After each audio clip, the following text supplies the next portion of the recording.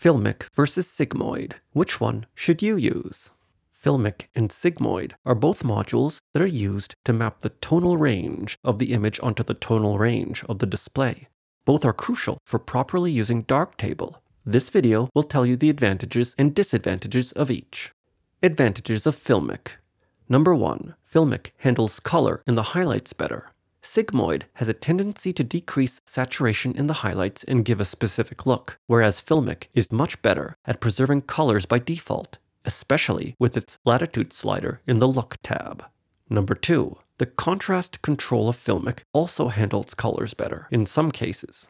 If you want to control the contrast within either module, the contrast slider of the Filmic module won't tend to oversaturate colors, whereas the colors may oversaturate in Sigmoid.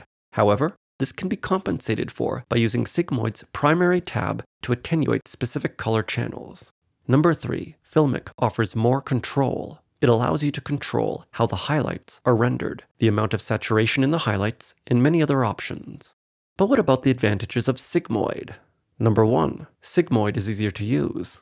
It only has two main controls, contrast and skew. Compare that to the many controls of Filmic, which can be overwhelming at times. Number two, Sigmoid handles blown out highlights better with less fiddling, even when you push the highlights with the skew control. If some of the highlights seem overblown, just after increasing the exposure, the Sigmoid module will pretty much always create a smooth transition in the blown out areas. You can get good highlights in Filmic by using controls such as Highlight Saturation Mix, but Sigmoid is much easier and always works. Number three, Sigmoid has a primaries tab that allows you to control the attenuation and rotation of individual color channels, which is more intuitive than the complex controls of Filmic.